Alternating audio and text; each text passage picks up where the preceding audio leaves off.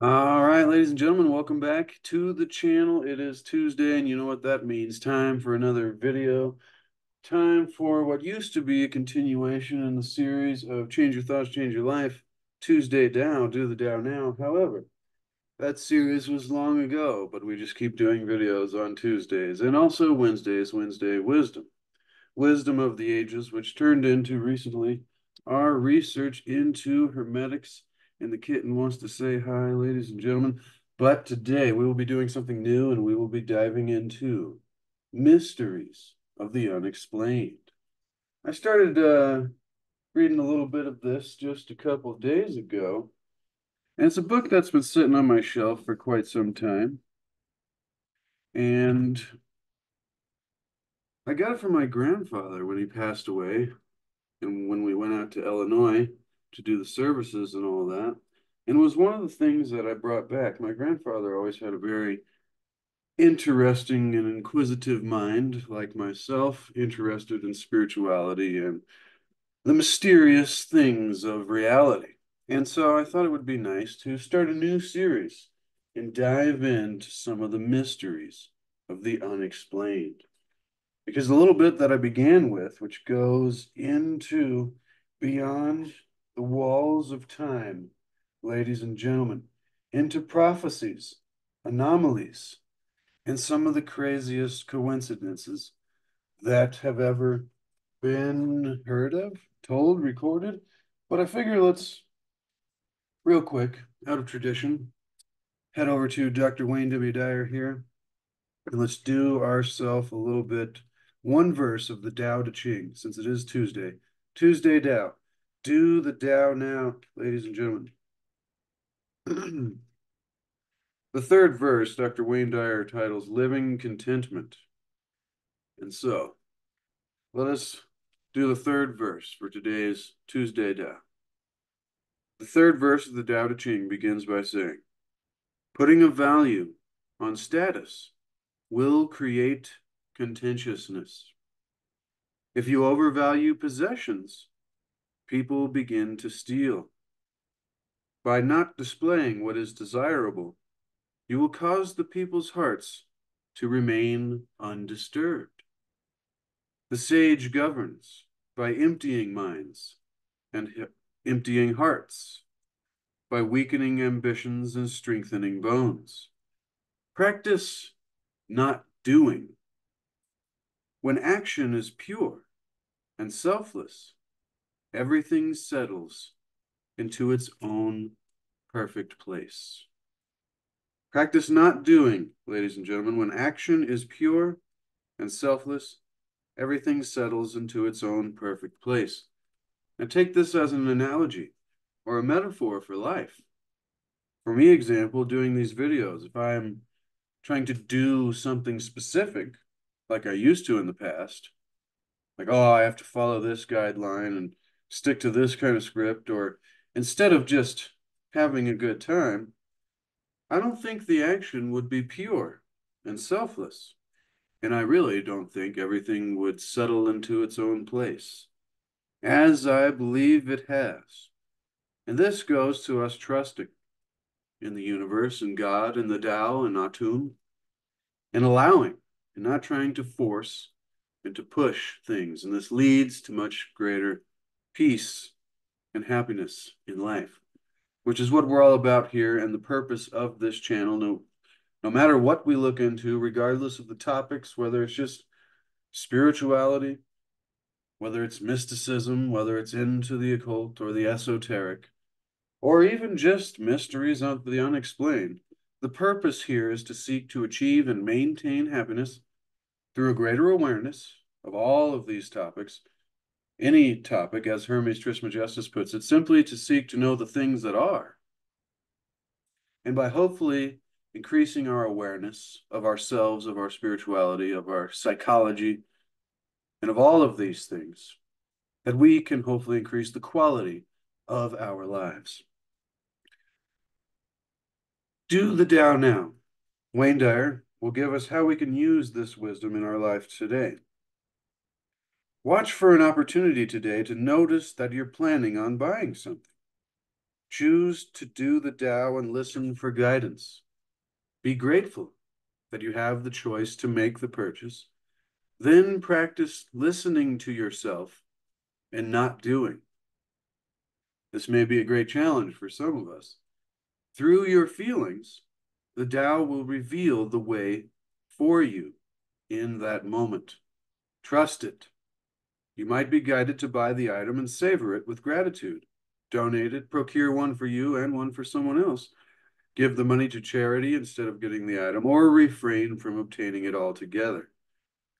But the point here is practice listening to yourself and not doing. Practice doing the Tao in everyday situations, and you will know contentment in a deeper sense. As this verse says, when action is pure and selfless, everything settles into its own perfect place. Now, that's a definition of contentment, Dr. Wayne Dyer says. Always love Dr. Wayne Dyer. There's our little bit of Tuesday Tao, ladies and gentlemen. Now, to begin an entirely new series on the channel, we come to Mysteries of the Unexplained, ladies and gentlemen.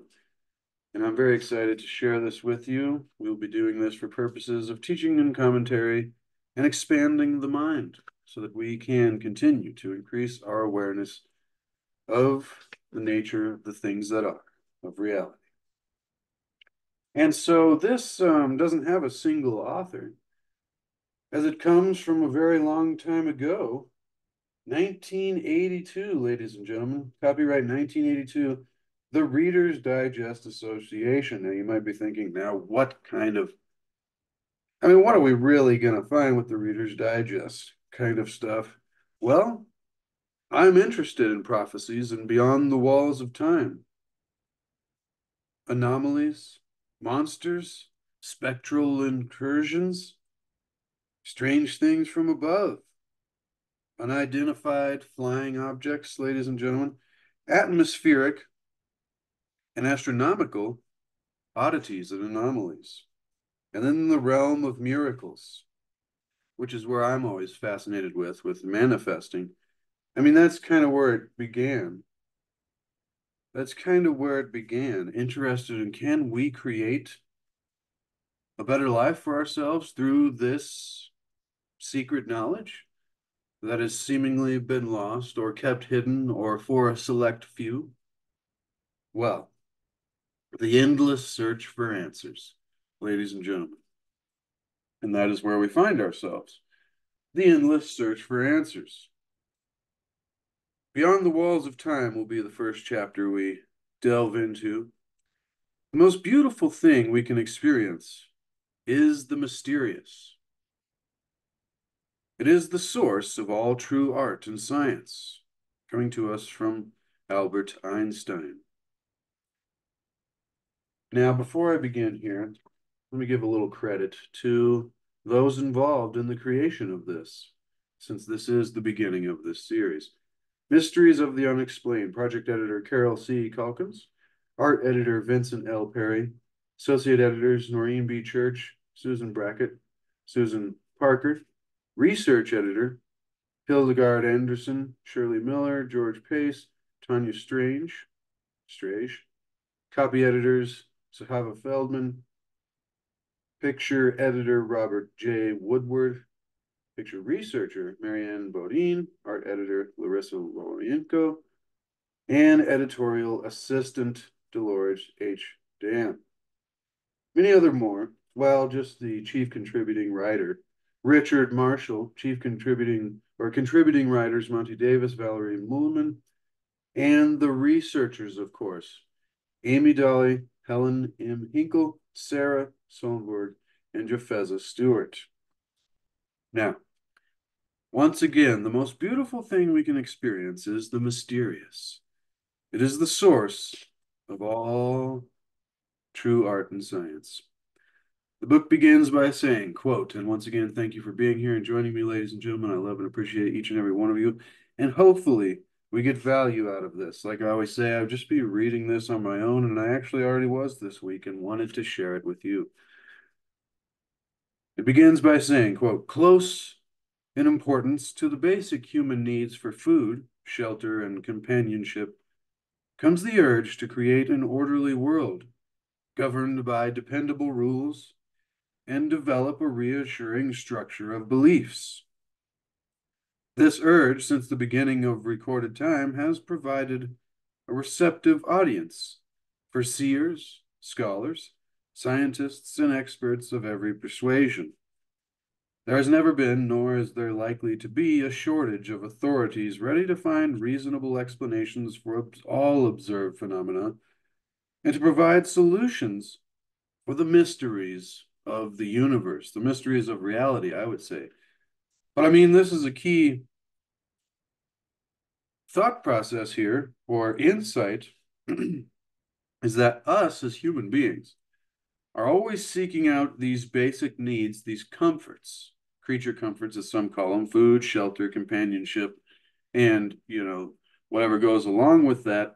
And this urge to create an orderly reality that we can, at a high predictability, feel comfort in knowing that there isn't a whole bunch of unknown going on because you know for most of us the scariest thing is the unknown is what you know the the sitting there not knowing what is possibly going to happen. And so we begin to develop about these unknowns like we're researching on this channel the nature of god of atum the nature of reality and how our how we are connected to that.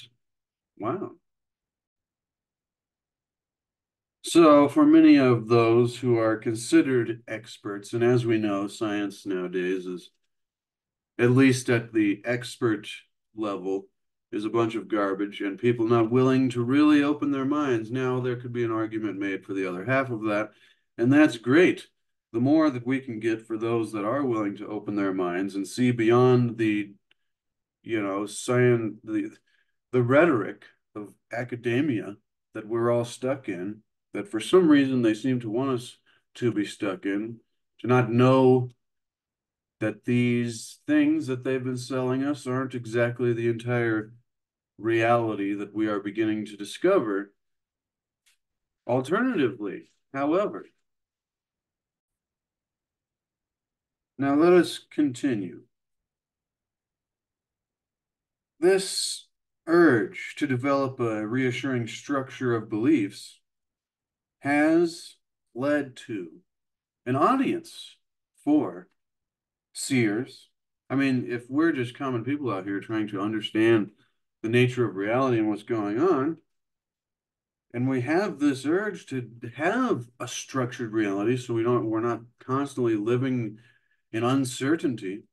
And we want to have that comfort then obviously we seek out those who seem to be or may be experts in these areas. Seers, scholars, I would add mystics, philosophers, sages, oracles. But there has never been, nor is there likely to be, the book continues, a shortage of authorities ready to find explanations to explain away all of the craziest, I'll add, phenomena and try to provide solutions for these mysteries of reality. And yet, there are events that seem to say that our rules and our beliefs and even our common sense may sometimes let us down. In the past, men and women believed that the world around them had a miraculous dimension.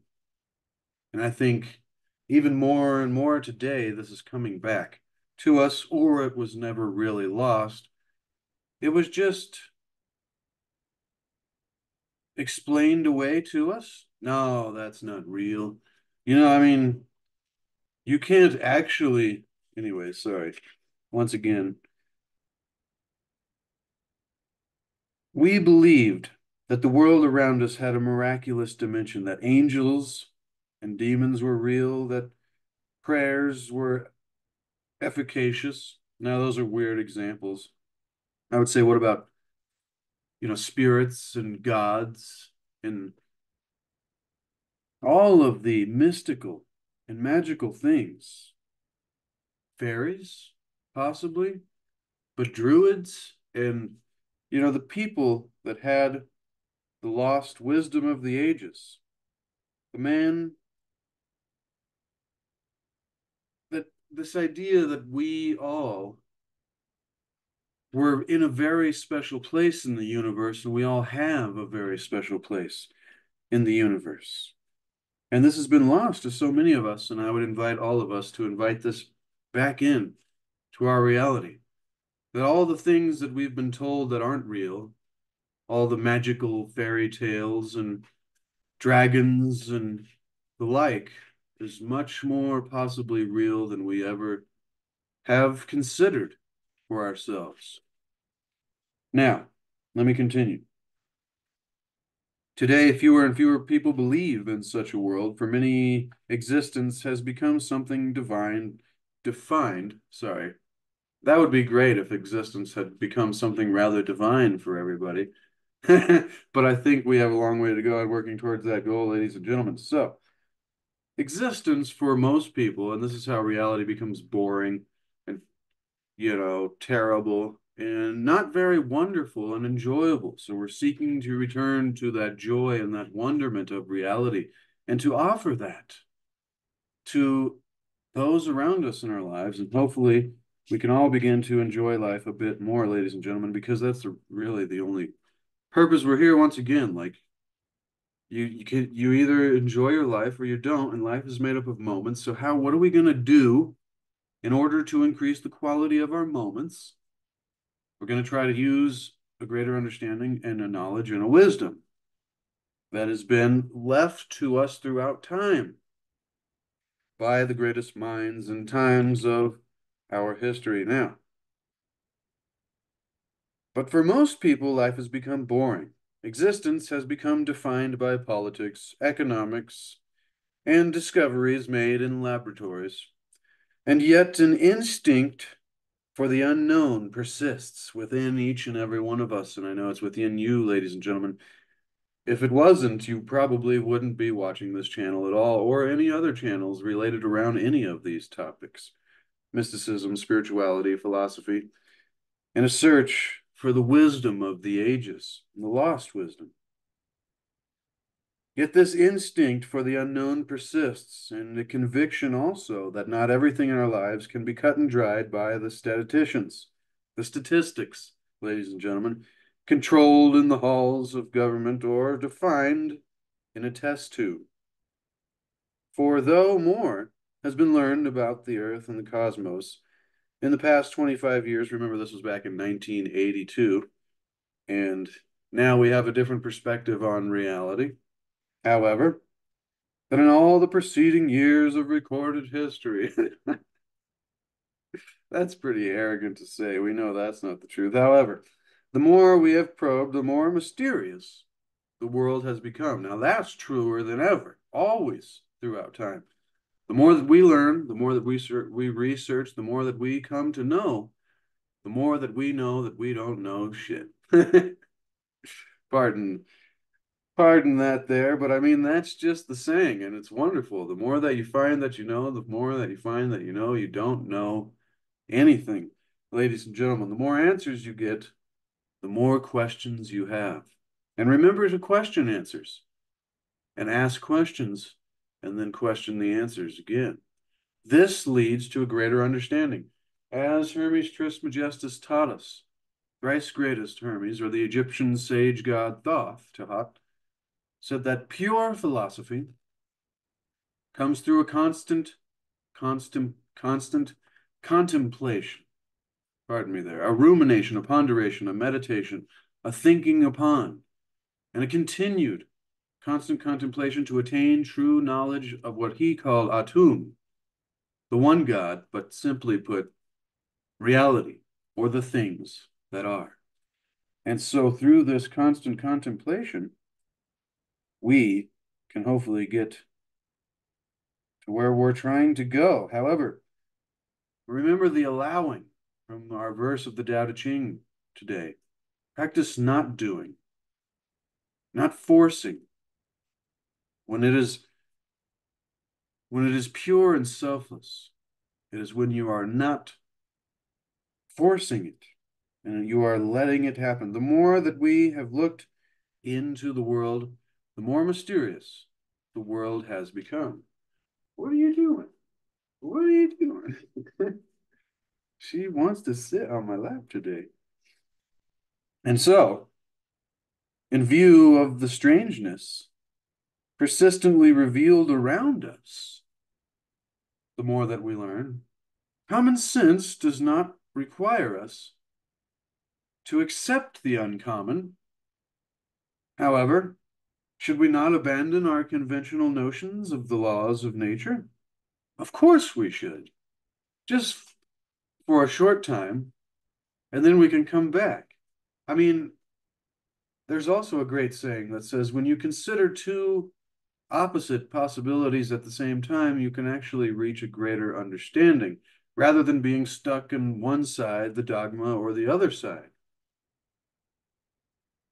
As our scientists tune in to the reverberations of cosmic creation, must we adhere to the idea that time progresses in a linear way? Or is it cyclical, as we have been taught by the Yuga cycles and the, you know, the Mayan calendars and all of these great calendars from the great wisdom of the ages, from centuries and centuries and thousands of years ago, that we obviously had a greater understanding of the nature of reality, and we have come down in the Yuga cycle since then, and we are slowly beginning to remember or awaken to the knowledge that we forgot from the previous golden age to where we are now. And we've looked at the Yuga cycles before on this channel. If you want to check out that, do a quick Google search and pull up the Yuga cycles. And you can see the great year and how we go from the golden age to the silver to the bronze to the dark age, noting that each is longer and decreases in time until you get to the dark age, which is a very short time, which is wonderful for us. Thank goodness it's not the other way around. However, let us continue. Must we adhere to the idea that time progresses in a linear way, or can we look at this cyclical nature of the repeating qualities, whether it be the greatest times or even the cosmic catastrophes and the cataclysms that leave us left with so many of the confusing things and maybe even our amnesia to remember them. But once again, we will awaken again to the lost knowledge of ourselves, of our ancestors. I like the the way that whoever wrote this says the editors here. So whoever I mentioned in the beginning, but they have a real good, I like the wording. It's, it's 1980s feel, you know? Hopefully you're getting value, ladies and gentlemen. Once again, thank you for being here. So, cannot past, present, and future exist simultaneously? Now, really ponder on this because this is a thing that somebody asked me when I was talking about past lives and reincarnation and he brought up well time he was like if time isn't linear and all of time is actually happening spontaneously. So like the past and the future and now are all just part of one continuum from a nonlinear perspective. And remember we got into the linear and the nonlinear and the wisdom of dr david r. Hawkins um, also like maybe a month or so ago on Tuesdays, but there's a series on the channel playlist. Go over to playlist and the wisdom of Dr. David R. Hawkins. Now, past, present, future exist simultaneously. So if we have past lives, and if we can not only maybe do regressions and discover wisdom from our past lives that can possibly help us, in our current life, and if this is a simultaneous thing, then is it also possible that future lives are also already happening? Now, this is very deep. That's what that made me think of. Can not past, present, and future exist simultaneously? Must every effect be preceded by a cause?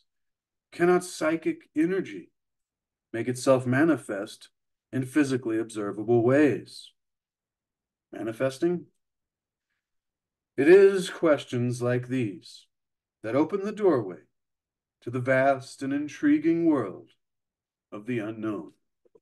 And it is people like us, ladies and gentlemen, here that tend to ask these questions to ourselves maybe more often than those that seem to be stuck in the quote unquote rat race or the survival instinctual ego, you know, subconscious programming that is our animalistic instinctual nature to try to do all the things that we are told to do from the tribe, quote unquote, to survive so that we fit in. And our world seems to be caught in this cycle of trying to make money and trying to collect things and gain status and all of that.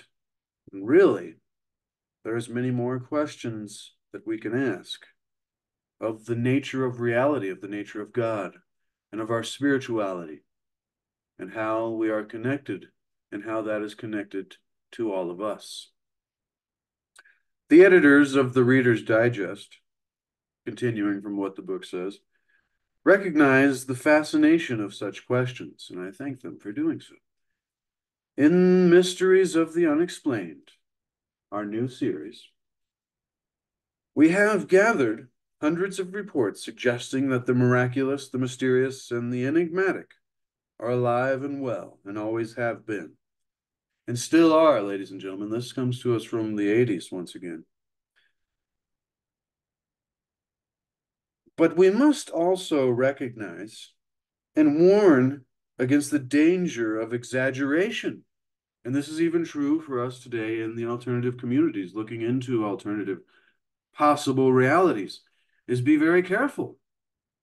For it can be very easy, and this is often me. I love the exaggerative and the, the you know, my mind's so open. Sometimes it might almost fall out on the sidewalk. However, that's why I don't really like to tell you, I know I'm open to anything. Is the world flat? I don't know. Give me some reasons why it might be. That's interesting. Is it round?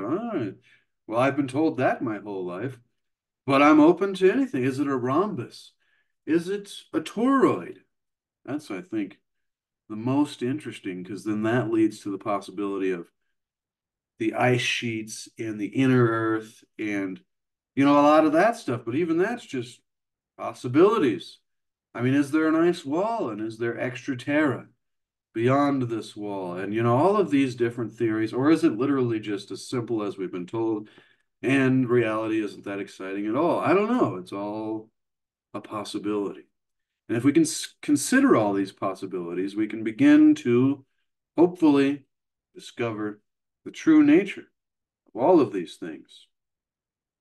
But be careful against the danger of exaggeration, against the danger of biases, being biased to one side or another. You can find that very easily when somebody is not very open to an alternative possibility, like these flat earthers out there that are like, no, I have all the proof here. There's zero reason and other explanation for anything except that it's a plane and there's all of this. You know, they have like a whole explanation for it. And I'm like, right when you think that you know everything is when you should begin realizing that you're probably not you know, getting it all. It's like right when you think you know everything, you know nothing. And when you know nothing, then you know. This is also a teaching from the Tao Te Ching. However, I think it actually goes those who speak know not, and those who do not speak know. So if I did know everything, and if any of us did know everything, then we might not even say anything at all. And I think that's a John Levi quote or John Levy. So shout out to John Levy channel. Very fascinating once again for the open-minded. But do not be swayed by exaggeration, bias, and distortion in the reporting of inexplicable happenings and things in reality. This book is an almanac of events that defy explanation in commonly accepted terms. Some of the events are chilling. Some document seeming miracles. Many suggest that the human mind and body have, it says, uncanny capabilities. But as I seem to paraphrase so often, which is what I've been doing this whole time, a little bit, seem to human minds seem to have superhuman abilities, as we've found more recently than the 80s. While others suggest that creatures unknown to science and staggering to the imagination are roaming the world. Bigfoot, maybe. The Sasquatch, ladies and gentlemen, it's so funny when some of those come out. And, you know, people get so excited, and you're like, is it a guy in a suit on the side of the hill? Or is it really just a, you know, a Bigfoot ready to pose? I don't know. But even pictures in the 1800s look like we're all just posing for the camera. So why would why would Bigfoot be any different, ladies and gentlemen? I don't know. I don't know. But then there's people that believe that these creatures are interdimensional and they can come in and out of physical reality as they wish, or they only appear as apparitions to us for some reason or another. Once again, these are all mysteries of the unexplained, and some would like to claim that they know the entirety and truth of all cryptology, the research of cryptids. However, many suggest that the human mind and body have uncanny capabilities, while others suggest that the creatures unknown to science are roaming the world. Some reports propose that the cosmos may not be so sterile or uneventful as we think. And we've learned a whole lot in that category since 1982, ladies and gentlemen. Now it's like, oh, yeah, UFOs, that's the old, you know, now it's just observable phenomenon for everybody and reported on publicly on the news by our government, by our system. I don't know. It's just it's getting to an interesting point, ladies and gentlemen. There are those that think we may see a fake alien invasion with all we can do with projection, you know, holograms, holographic imagery, um, things in that nature, deep fakes of a different sense. But it's like if we began being invaded by aliens, the question comes now how would we really know that it's even actually happening? I mean, who's to say that it wouldn't be us invading ourselves in, a, in, in an attempt to disguise ourselves as aliens? But that makes me think of the great quote that whatever this is that we've been dealing with, that's been causing the struggles of our reality, and going against humanity, that whatever this is may be disguising itself. It may be so alarming and so scary that it has disguised itself as an alien invasion and so not to alarm us.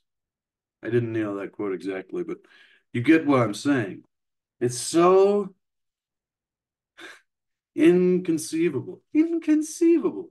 I don't think that word means what you think it means in the famous words of Inigo Montoya. A shout out to the Princess Bride, ladies and gentlemen. and Miracle Max. Remember, he's not fully dead. He's only mostly dead. There's a big difference. Big difference, ladies and gentlemen. Now, see, we're getting off topic and I'm rambling. Once again, thank you for being here. And if you've been here before, you know this is what we usually do. We're just here to have fun and think about some of these wild subjects and things. Now,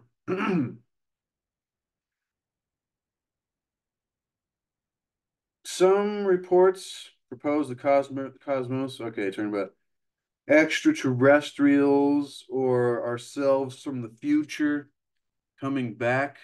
It's like a breakaway civilization that escaped the previous cataclysm or reset or whatever you want to call it, and now it's coming back, trying to, I don't know, communicate in some way, help us along the path. Others incredible stories of coincidence hint that sometimes the inorganic world conspires with life to create bizarre or meaningful patterns in the vast tracts of time and space. In short, the stories gathered here imply that what we see and know of the everyday world represents only a small glimpse and glimmer of how things really are. How things really are. And like when I was reading this the other day, I'm like, man, this is my kind of thought here. I mean, this is why I've been doing this channel, researching into everything. I mean, I got books on the old world, on earthing, the art of war from Sun Tzu, uh, Sun Tzu, sorry, the Bhagavad Gita. I can never say that one right. The Bhagavad Bhagavad Gita. There we go. I got it. The Bhagavad Gita. Greater initiates, lost cities, the Kybalion.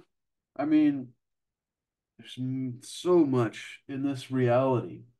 Zen, becoming supernatural, becoming spiritual healers. There is just so much in reality. There's spiritual solutions to every problem. But, ladies and gentlemen, our researchers, they said, where have we found these stories that we'll be reading in this series? In Mysteries of the Unexplained for purposes of teaching and commentary and expanding the mind once again. While they say our researchers have sought far and wide in the 1980s, probably even the 70s, to track down recorded accounts of the strange and remark remarkable in newspapers from around the world and from journals of learned societies and meteorological reports and the logs of ships' captains. Wow. Admiral Byrd. I mean, when you go, because a lot of times nowadays, the strangest things will come out in like a local newspaper. Does it ever make it to any larger media outlet? No. And is it removed from public viewability very quickly when it is something that we are not supposed to see, quote unquote? I would say yes. And so we must diligently find and share these things as soon as they are available before they are hidden from us. I think back in the 70s and the 80s, they weren't instantly covering up things that they didn't want us to know about as much as they have been since, I don't know, 91? That's when my life started. Since 99, easily since the beginning of the 2000s in 2001. However, in newspapers from around the world, travelers, diaries, ancient chronicles, police records, and the records of archaeological excavations, and in the testimony of even, like ourselves, ordinary men and women who have related what they themselves have seen or experienced. And how we can judge these reports. How can we judge these reports? Well, we can establish that all the events related herein occurred exactly as they have been recounted. Human beings are fallible, of course, excitable, and prone to exaggeration. So that's why I warned us earlier in all of our research, in all of reality, not just the mysteries of the unexplained, but literally the knowledge of the things that are that we must be careful to exaggeration, the danger of bias, and distortion in the reporting of inexplicable happenings. So, but we can, they say, document every report. Someone at some specific time or place wrote down an account of each phenomenon described.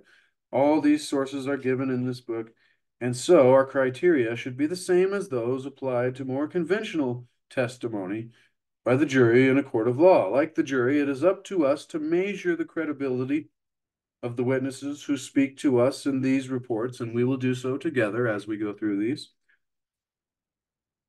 We may doubt or disbelieve, and I'd love to hear what you think in the comments below. This should be a fun one. But when we find numerous witnesses to a certain class of phenomena, we may also suppose, if we choose, that not all those witnesses are lying. This is what I like to call synchronicities, correlations. There's many other ways to say that. But, however, we may also suppose, if we choose, that not all those witnesses are lying, but there may be shortcomings in our common sense notions of what is and what is not possible. As we read on in the future and in future episodes in this exciting series of mysteries of the unexplained, we may agree that many things still remain hidden from us as always is the case, ladies and gentlemen. As the philosopher Seneca, S E N E C A, Seneca, Seneca, observed in the first century. Leave me a comment. Let me know who that is. You're always helpful about that, my wonderful viewers. So thank you. The philosopher Seneca observed in the first century our universe, quote, is a sorry little affair, unless it has something unless it has in it something for every age to investigate. Nature does not reveal her mysteries once and for all. Nature does not reveal her mysteries. God, the Tao, Atum, grand organized de design, God, whatever you want to call it. The mysteries of reality are not revealed all at once and to everybody at the same time. It is for those who have the eyes to see and the ears to hear, and the mind to contemplate.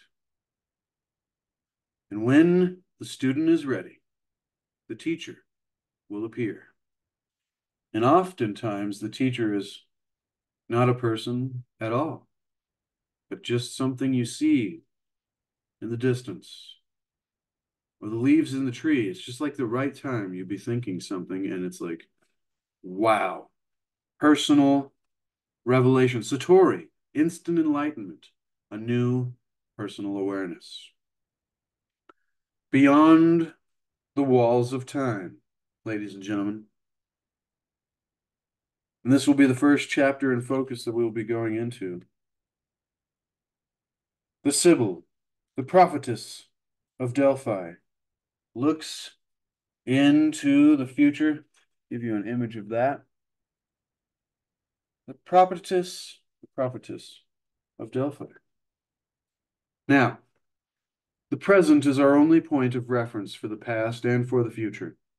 And our awareness of any happening must obviously occur somewhat after the actual event itself. So, what then are we to make of the time warp that allows some people to prophesy and to make prophecies, that which will happen in the future? Anomalies and coincidences are related phenomena, in that they are both departures from the expected time frame, that some prophecies do come true, and that anomalies of many kinds exist and that coincidences abound. All this is without question. The quote unquote as yet fathomless mystery is what force or forces are powerful enough to bring them into being. To bring them into being, ladies and gentlemen. And it begins on a description of prophecies and the difference between precognition, prediction, prophecies, and even premonitions. And that's very fascinating. And that is where we will begin next week, ladies and gentlemen. And then it, then it begins into biblical prophecies fulfilled. As we know, our standing on such scripted prophecies. But it gets to that in here, which is beautiful. Maybe I'll give you a bit of that right here. When it comes to scripted prophecy, uh, a certain group disagreed with the theological significance attached to these verses by Christians, while others disparaged their worth as prophecies on the grounds that they were self fulfilled. So, if you've ever heard somebody say scripted prophecy, here's an example of that. They were self fulfilled on the grounds, that is, that a unique character and his followers could have fulfilled these prophecies quite deliberately and engineered the events of the New Testament or their account of them based on their knowledge of and a plan to conform to the outline in the Old Testament. If that doesn't blow your mind, then wow. That blew my mind immediately, and I was like, wow, I've never heard it put that way. Since the group that was older than the Christians didn't have the same, you know, the same breakaway spiritual philosophy, if you want to, you know, put it that way. It's all Judeo Christian in some sense. However, there's these little differences. And the fact that the prophecies that were prophesied in the new in the Old Testament that were fulfilled in the New Testament could have been on purpose self-fulfilled on the grounds that the character and his followers fulfilled them quite deliberately and engineered the events of the New Testament or their account of them to conform to a plan outlined in the Old Testament. While this view, assuming the factual veracity of the Gospels, may or may not detract from Christ's status. See, I like that they put that there. So even if they did purposely fulfill them, maybe this is just the Roman story we got from this after the um, the Council of Nicaea, you know, created a created a what do you call it when they got rid of all of it and created a canon. They created a dogma. They created a canon that you are to follow, that other things are not included and This is all that there is. I don't know if I'm saying that right, but I hope you get what I'm getting at here.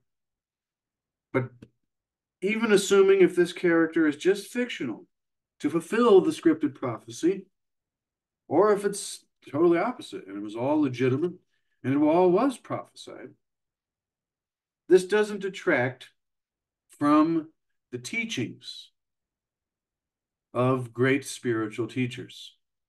So, whether or not they really even existed, it's the lessons in the teachings that are more important. And so it does not have any logical bearing on the prophetic connection between Old and New Testament events.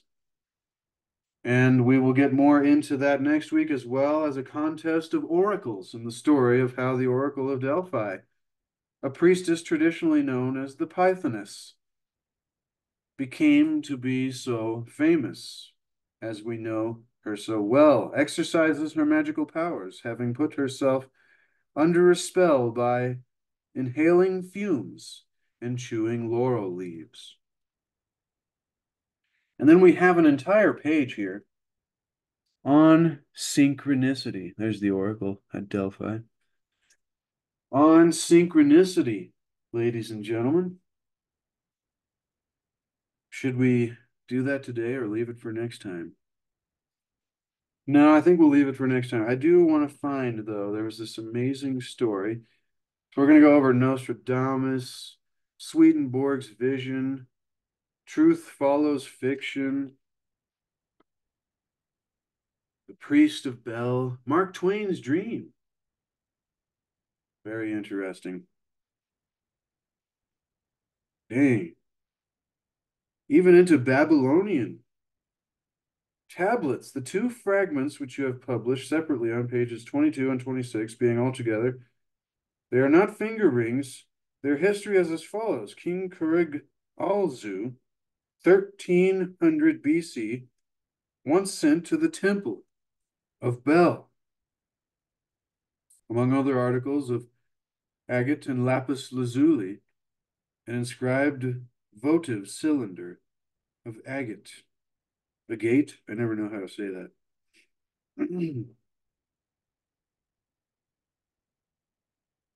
the chief center for the worship of the god Bel, king of heaven and earth, and I hope that's not Baal. If that is, then terrible. But I think this is different. Was the center of Nippur, Nippur, in ancient Babylonia. In 1892, a priestly phantom took Dr. Herman Hilprecht back through the time, back through time, to the temple there and helped him to solve an archaeological mystery. Wow. See, that's another story that we will get into. I've heard a story like that before where someone was in Egypt, that was Scotty Roberts. And one of his acquaintances that was there with him had quite a spiritual experience that gave them an insight into the understanding of the beautiful Egyptian tombs that they were visiting. Flight into the future, a preview of an air raid. Now, this, I think, is the one that we will leave us with today, ladies and gentlemen.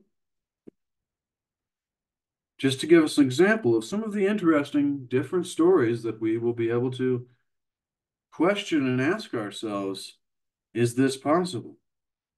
Two newspapermen, ladies and gentlemen, claimed they witnessed an air raid that devastated Hamburg shipyards 11 years before it happened. This 1945 photograph shows the damage that they saw. Now, of course, just a black and white of some damage of the bombings of World War II. I think they were destroying beautiful architecture. But that's a different subject, ladies and gentlemen. So let us read this very fascinating, interesting story from J. Bernard Hutton on the other side of reality. In 1932, two German newspapermen, reporter J. Bernard Hutton and photographer Joachim Brandt, were sent to do a story on the Hamburg, Hamburg sorry, Altona shipyards. Now, 1932. World War I was still being waged in September 1918.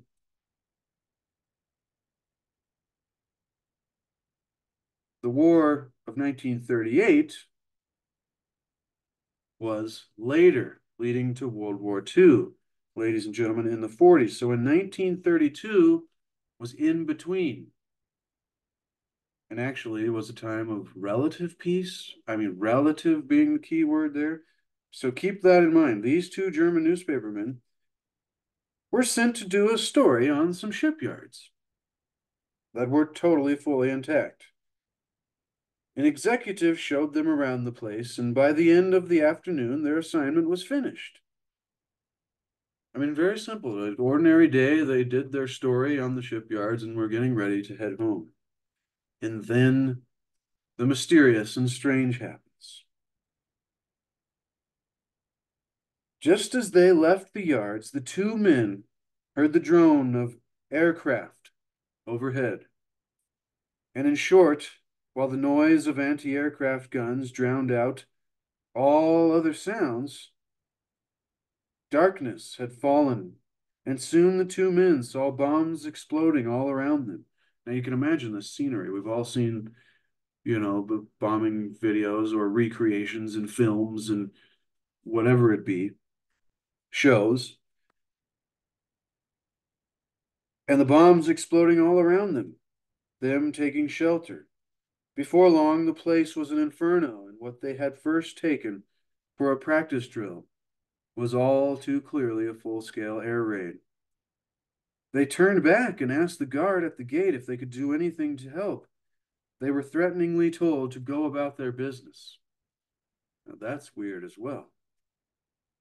And so the two, two newspapermen drove back to Hamburg.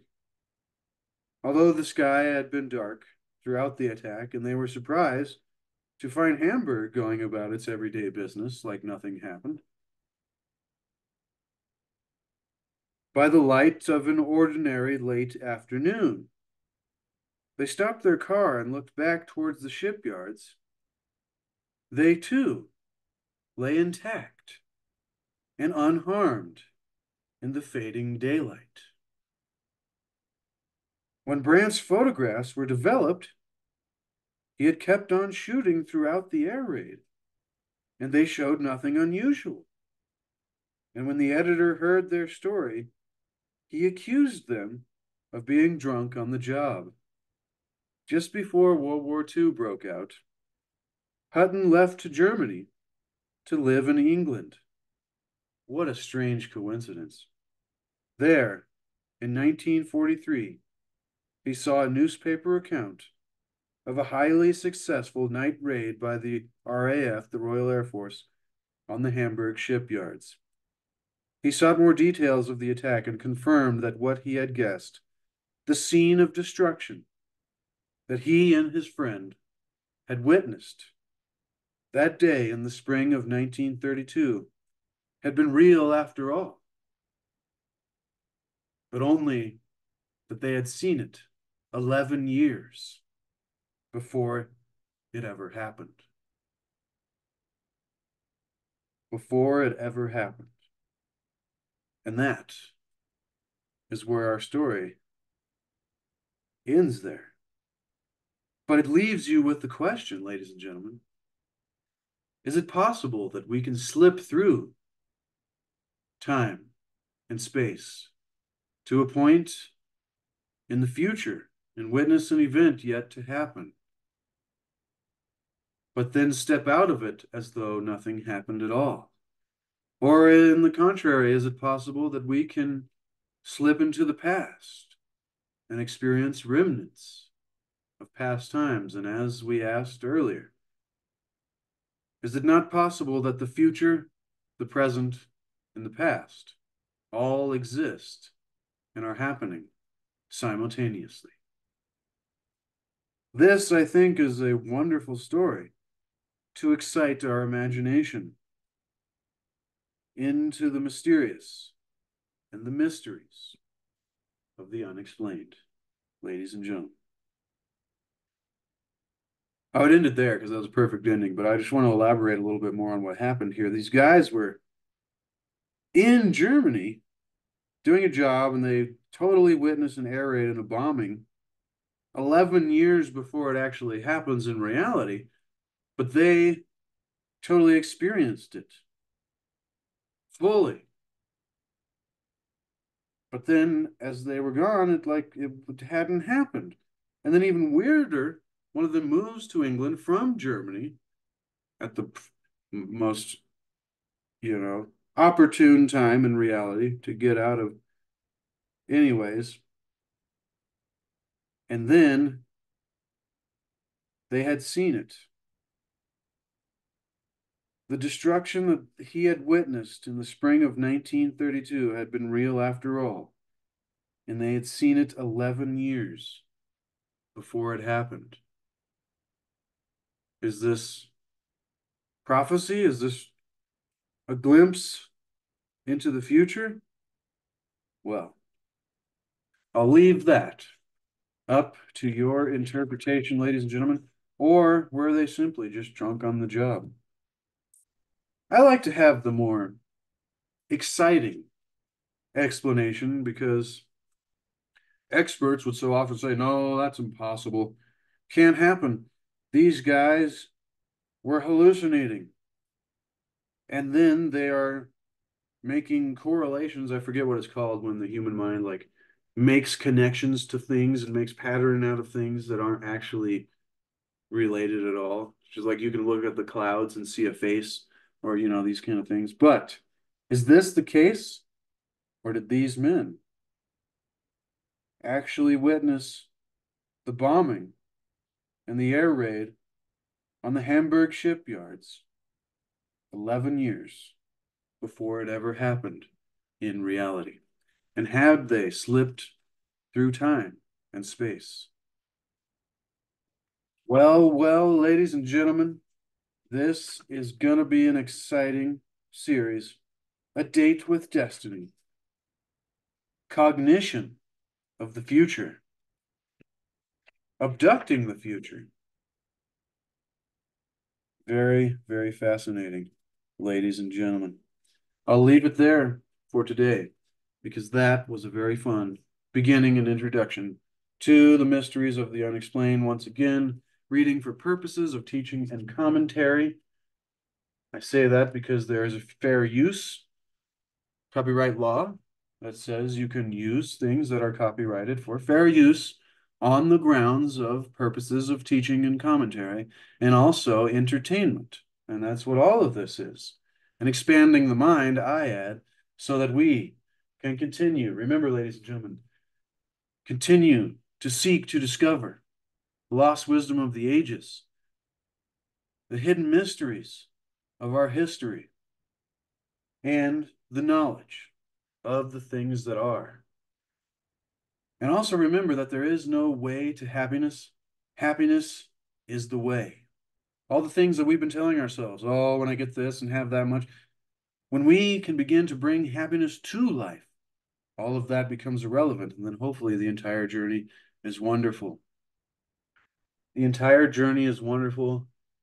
I, I threw myself off there. Purposes of teaching and commentary, expanding the mind so that we can increase our awareness of the nature of reality and ourselves and our spirituality and all the mysterious things in the nature of reality, so that through this increased awareness, we can increase the quality of our reality. Seek to achieve and maintain happiness through enlightenment, through greater awareness of all of it all of it. I've said it five times by now, ladies and gentlemen. Thank you so much. I love and appreciate each and every one of you that joins me here on these shows. I skipped last week, so if you're wondering if you missed anything, nope. I took a week off, and I'm not going to beat myself up about it. Not going to beat myself up about it. I also met uh, Sky Bridges, Sky H A S K Y H I Bridges. Um, it's weird to actually meet somebody that has seen your YouTube channel in real life. They're like, hey, are you Chase? Do you do a YouTube channel? I'm like, yeah, what makes you say that? Because I have multiple channels, so I don't know which one they'd be. But yeah, I mean, he even asked me this week, he was like, what is your specialty into the occult? And I was like, oh, no, you know, I'm not I'm just a dabbler, as I said. What I really meant is I don't know a damn thing, really. I'm just a researcher. I'm just somebody who's open minded looking into this stuff. I don't know any, you know, I'm not like a magical practitioner or some kind of. Seems like he was very interested in the tarot and has built his own deck. That's very, very cool. Using um, original, oh, I forget, was it Aramaic or but one of the original languages to where a lot of our mystical knowledge comes from in what I like to call the wisdom of the ages or the you know the wisdom of thousands of years ago that has been passed down through us throughout time. But very cool. I've only had a couple readings. So anyway, I want to say shout out to him. Always good to meet somebody and you know who is like-minded and open-minded like we all should be seeking to know the things that are. Quote once again from Hermes. All right. Appreciate you, ladies and gentlemen. I love you. And I send all the best of thoughts. Hope everybody's doing well. And once again, thank you for being here and joining me. And I will see you tomorrow on Wednesday Wisdom as we continue our series in the Corpus Hermeticum, the Divine Pymander. And we are on chapter 15 of Truth to his son Tot. Very interesting. I look forward to that. All right. Love you, ladies and gentlemen. Be sure to uh, like, smash the like button, subscribe, share this with somebody who is like-minded. It helps support the work that we do here. This kind of work isn't the kind of stuff that the algorithms promote too much. So every little bit of help goes a long way, ladies and gentlemen.